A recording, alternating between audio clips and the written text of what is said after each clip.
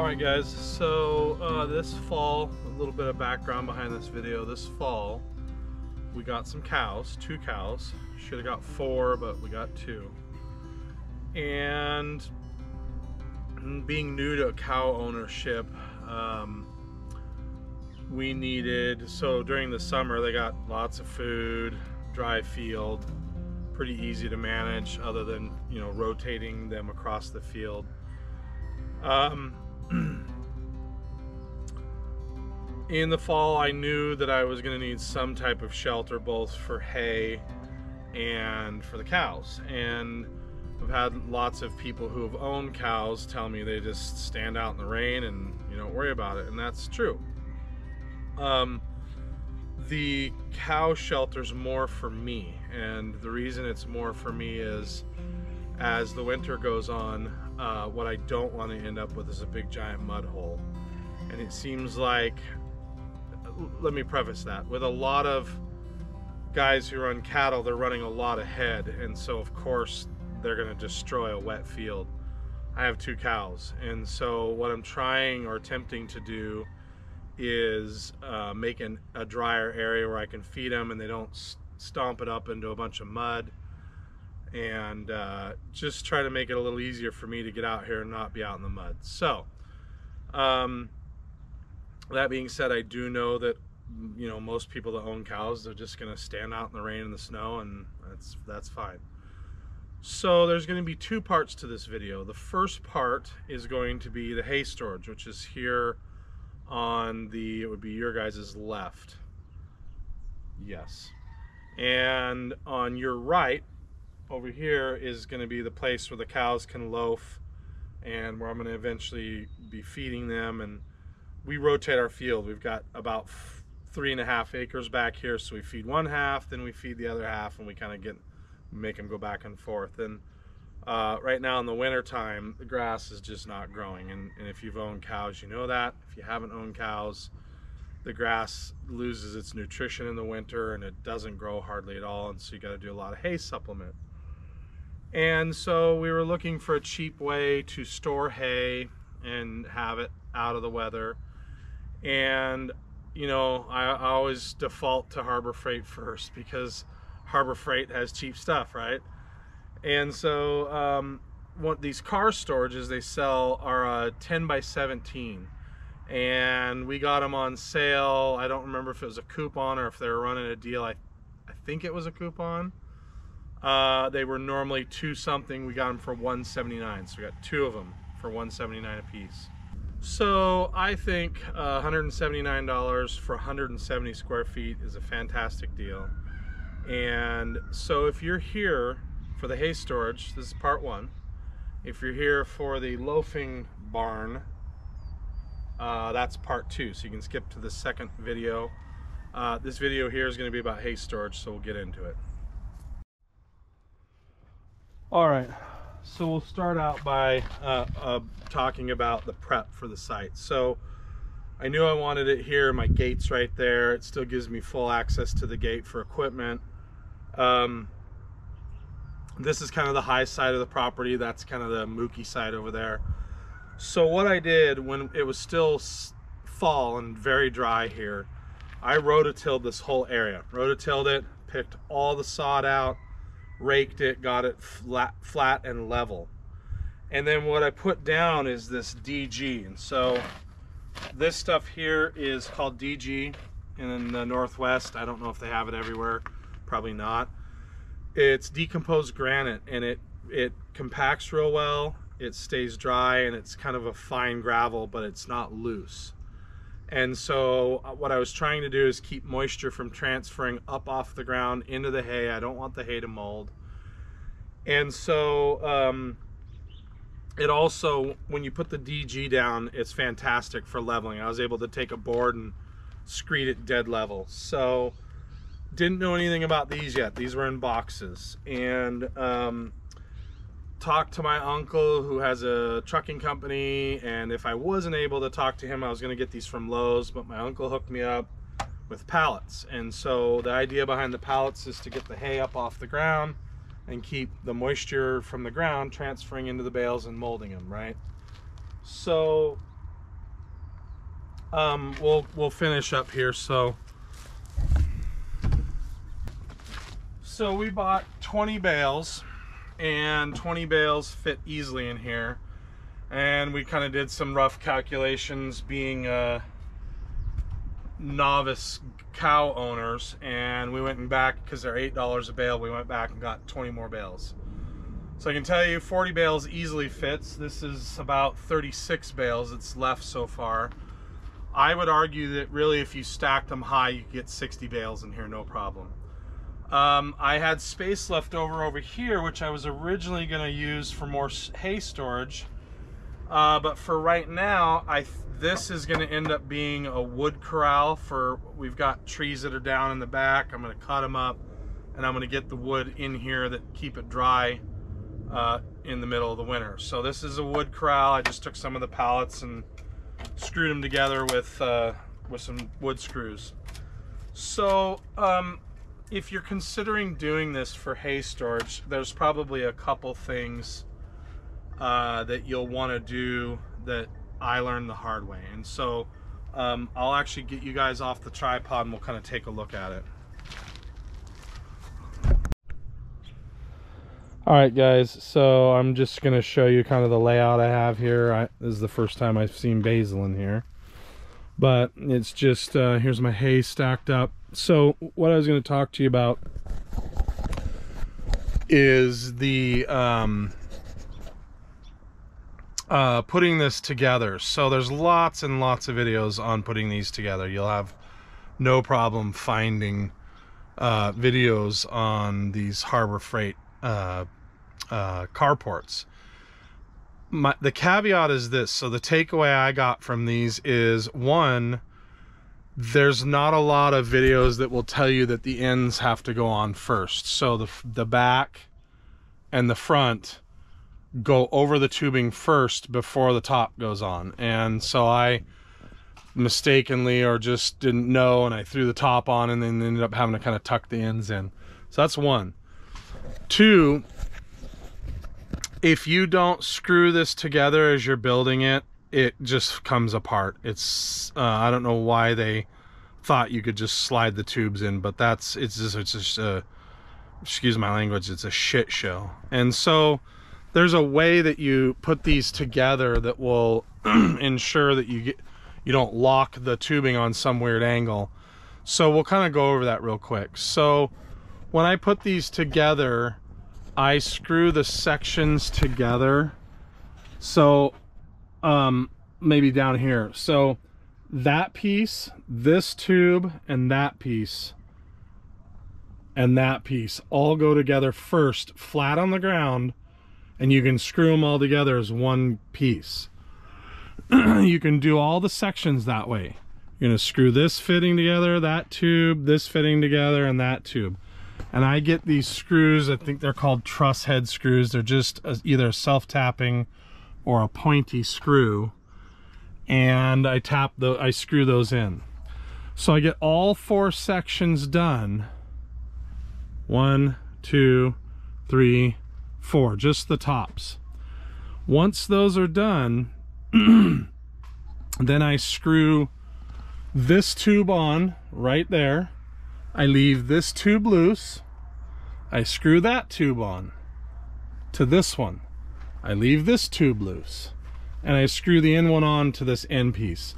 What that does is that makes the top ones able to rotate so that when you're setting your building up, if your ground's not perfectly level, if you were to frame it all up dead level, which you'd have a hard time doing because you'd have nothing to reference, once you put your screws in, nothing rotates anymore. You're locking its position. So I'm leaving one joint open. I hope this comes across right. I'm leaving one of the joints able to articulate. Then what I do after that is I bring this out and set it up on the ground. So it's just, sorry guys, so that it's just these sections to this joint right here sitting on the ground. once once I have all that on the ground and pre-assembled Then you could either lock your tops in. What I did next is I put I put all the legs on. So I put that leg on, this leg on, that leg on, and this leg on. So the the building is tilted way up like this with all the legs on. And the other thing I'll tell you about is um, you want to make sure that these feet are screwed on as well. Not ignore that bracket. Just this tube will fall off while you're screwing around with it. So you want to make sure that those are bolted on and you can these are buried in the ground uh, but you want to bolt those on so you're not dealing with any of these lower tubes yet um, these tubes you can also do the same thing where you screw them in on one side but you don't trap them on the other side. Anyways you get this all assembled. My gosh it's gonna take forever guys. Um, you get it all assembled one side up and then the other side up. And now your building's up and you still have a couple of joints that can articulate. And the reason for that is is your ground may not be level. Once you get the building where you want it where you like it you're to put all the rest of your joints in. You're going to put all your screws in and get the building so it won't slip and move around. Um, so once the building's up you're going to put your ends on your your um, vinyl ends. And um, so we can go over that real quick. So the um, these slip over the joint. So you'll either plan it ahead of time or you'll pull that screw out slip this through and then um, again this tensioning strap is on the inside of this joint so you slip it through and your tarp pulls around the tube, right? now, I will tell you, this happened to me twice. And you will go bananas if it happens to you. So, that strap on these end walls, before you do anything, as soon as you pull it out of the package, you're gonna tie a granny knot around this part right here. And the reason that you're gonna do that is when you slip that over over the tube that strap will slide towards this it'll make a big loop if you don't tie that end down there to the fabric it will slip up inside this uh, it'll slip inside of here and be way up here you know down there and it will take you like an hour to get it back out. You'll have to feed like a, you'll have to feed a coat hanger in there. I had to end up taking it on the ground and making slat. It is the biggest pain in the ass. I can't believe more of the videos don't talk about it. If you don't tie the black strap to the fabric, it will pull up inside and you'll spend hours screwing around with that. So that's a huge thing to do. Now, as far as routing goes, so you got your ends on and you need to tighten them around there. So they include eight cheap ratchet straps. And they are these guys.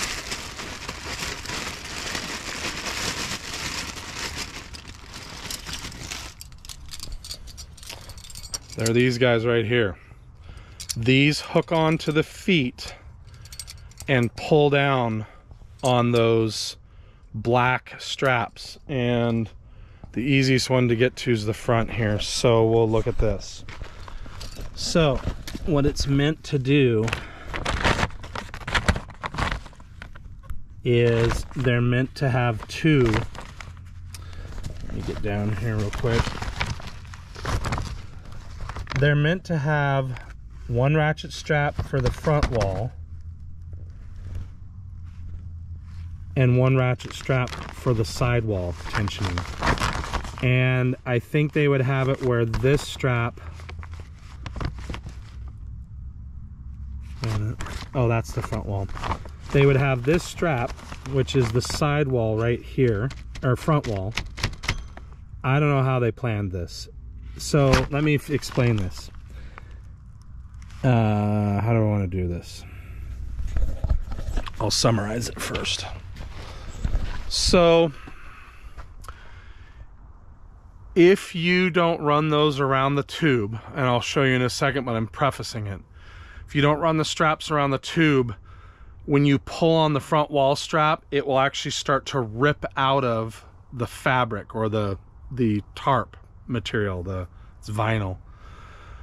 The sidewalls will do something similar, but not as bad. But the pull angle, basically, you can get them so tight, it'll just start to rip the material because it's cheap as, as all get out.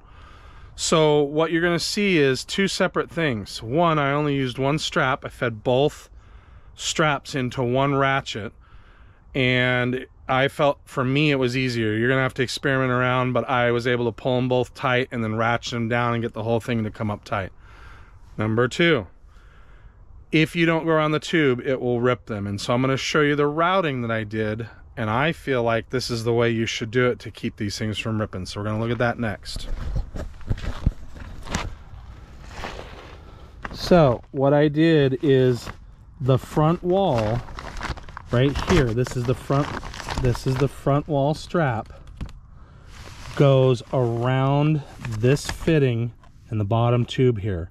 And we'll circle back to these tubes in a second, but they both straps, then the sidewall, this sidewall strap goes around the tube this way around the outside and then go feeds over this tube as well and there's a order so so this is hard to explain but the sidewall strap is first closest to the tube and then the front wall strap or back is second behind that they both feed together they both feed together into one strap and then they're hooked right here on this hole, which is what they intended at the factory. So this is the tube I was talking about. You can see both straps.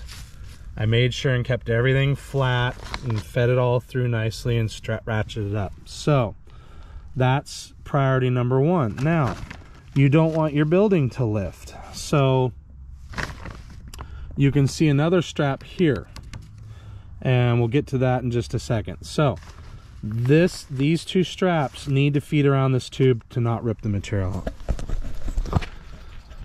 in my opinion so next thing the bottom tubes so when you are done pulling the fabric over the top of this thing you're gonna set both of these tubes about I'm gonna say six inches from the feet on this building, I didn't screw them to the tubes. On the other building, I did, except the ends. I screwed, I just noticed I screwed them in. So same screws, same one inch self tappers, truss head. And you're gonna see,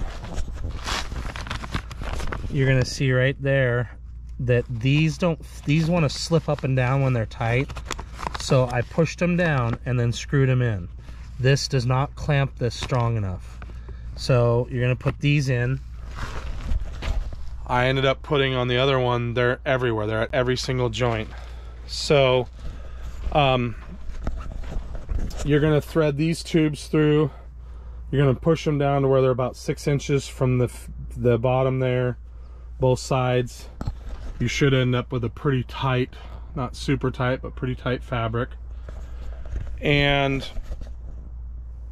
the middle joints you can just screw them down and not fix them with self tappers but I would do that so um, I just after having these fall apart a couple times you're gonna put screws in every single joint uh, let's move on to the last part which I feel like is the most important part and that is that you do not want this thing blowing away in a storm so if air gets under this it will fly away I'm guessing even if you had it tied to concrete it would fly away so I would rather have all these tubes shear off in a storm and not fly away no matter what. So this part is, I think, the best part of this that a lot of people don't talk about. And that is I wanted to find a way to anchor the building down quickly and cheaply. And I ended up using um, T-posts. So my recommendation would be to buy either 8 inch long T-posts, 8, 8 inch, eight foot long T-posts and cut them in half or just buy four foot T-posts. But basically what I did is I used a fence pounder and then a sledgehammer. I'll show you the sledgehammer. Harbor Freight again for the win. See that big sledgehammer there? And what I did is I pounded T-posts down into the ground until they were literally a couple inches out of the ground right here because I don't want to kick them. I don't want them to be a tripping hazard. I drilled a hole in them and I went and bought cheap Walmart or Harbor Freight ratchet straps and I hooked the ratchet strap to the T-post which will not pull out of the ground. And I just looped the ratchet strap over the joint right here. And this building is flexible but very strong. And that will not come out of the ground. There's you'd have to have a tractor to pull that out. And so I did that in all four corners. I put um, straps, I pounded T-posts down so they were near level to the ground, drilled them out ahead of time so that I could put a hook through them. And I ratchet strapped all four corners of this building to the T-posts, which are three feet in the ground, four feet in the ground. Three, six, maybe they're three feet in the ground. I bought six foot T-posts. Anyways, um, the ground was really hard at the time and uh, I mean I just don't believe for a second that they're gonna pull out. So that would be my recommendation to you. Um, I think that wraps up this video. Let me think real quick. Is there anything else I'd recommend to you guys?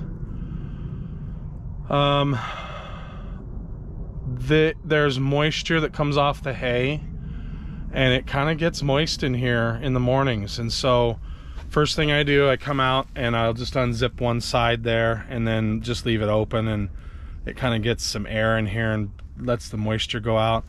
I am going to down the road look for um, something I can install either melt in or I'm not quite sure but a gable vent would be nice would vent a lot of the moisture that is in here gets trapped so if I find a gable vent and I figure out a decent way of installing it some lightweight gable vent, then we'll uh, we'll cover that. But uh, other than that, um, I just can't believe how great this worked out for hay storage. And uh, this is the end of part one. Uh, we're gonna go take a look at the cow uh, shelter next and what unique uh, problems that presented and kind of how I overcame them, I think. So I hope this helps somebody as always. And we'll see you guys on the next one. Talk to you later.